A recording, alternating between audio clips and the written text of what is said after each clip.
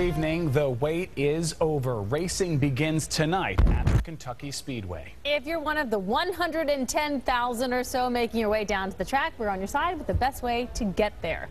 9 News reporter Valerie Miller shows you how to navigate the traffic on what promises to be a busy weekend.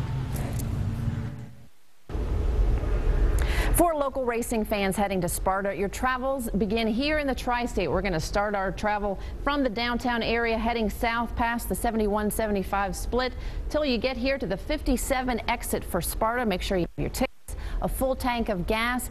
On those travels down 71, you're going to have plenty of orange barrels, but they're off to the side of the road, so no construction delays. You could expect long delays due to the heavy volume of traffic. Once you get to that exit 57 for Sparta, take it to the right. You follow Speedway Boulevard up to entrance number three. Of course, it's a left-hand turn into the parking areas just behind all of the grandstand seating. There's parking in sections D through J. Then enter in one of the five gates gates where they will check your bags. No coolers, no food, no snacks are allowed inside the track.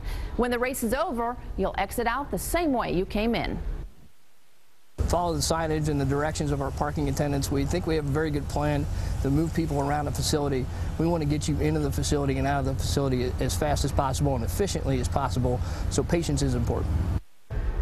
And Speedway officials say they have tried to plan for everything. The truck race tonight gives them a trial run to make any tweaks before the Saturday big crowd.